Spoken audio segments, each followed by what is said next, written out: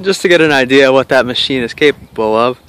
You know, I dug this pond, pretty good sized pond with it. There's the machine over here. Still sitting up there. It's been a couple minutes now.